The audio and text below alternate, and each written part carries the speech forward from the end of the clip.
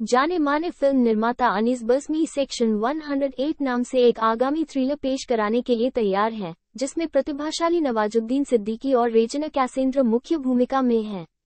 Welcome और Singh as king जैसी फ़िल्मों में अपने सहायक काम के लिए जाने जाने वाले निर्देशक ऋषिक खां द्वारा निर्देशित यह फ़िल्म भारत के बीमा उद्योग की पृष्ठभूमि पर एक मनोरंजक सस्पेंस सवारी होने का वादा करती है प्रोडक्शन से जुड़े एक करीबी सूत्र ने बताया कि थ्रिलर में रुचि रखने वाले अनीस बजमी दर्शकों को नवाजुद्दीन और रेजना स्टारार इस फ़िल्म से परिचित कराएँगे दक्षिणी सिनेमा में अपने काम के लिए पहचानी जाने वाली रेजना कैसेंद्र नवाजुद्दीन सिद्दीकी के साथ मुख्य भूमिका में हैं।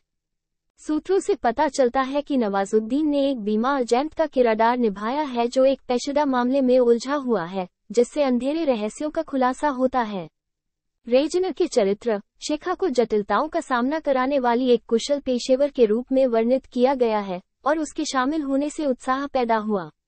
हालाँकि फ़िल्म में एनी महत्वपूर्ण सहायक कलाकार भी हैं, लेकिन अन्य की पहचान उजागर नहीं की गई है। सिनेमा वाला वेंचर्स और थ्री एरो प्रोडक्शन द्वारा निर्मित सेक्शन 108 पहले ही फिल्माया जा चुका है और जल्द ही सिल्वर स्क्रीन पर प्रदर्शित होने की उम्मीद है। फ़िल्म के शुरुआती टीजार का बेसब्री से इंतज़ार किया जा रहा है। विशेष रूप से, सेक्शन 108 नवाजुद्दीन सिद्दीकी और अनीस बजमी के बीच पहला सहयोग है। दोनों को अनेकी बहुमुखी प्रतिभा के लिए जाना जाता है। यह रेजना कैसेंद्र के लाई बॉलीवुड डेब्यू के रूप में भी काम कराता है, जिनके उत्सवम एवारू और नेंजान मरापा टिल्ली जैसी फ़िल्मों में सराहनीय प्रदर्शन ने दर्शकों को मंत्रमुग्ध कर दिया है। इससे पहले उन्होंने एक लद्दाखी को देखा तो ऐसा लगा से हिंदी सिनेमा में कदम रखा था। उम्मीद है कि फ़िल्म नवाजुद्दीन सिद्दीकी और रेजना कैसेंद्र के अज्ञात अवतारण के अनोखे चित्रण से दर्शकों को मंत्रमुग्ध कर देगी।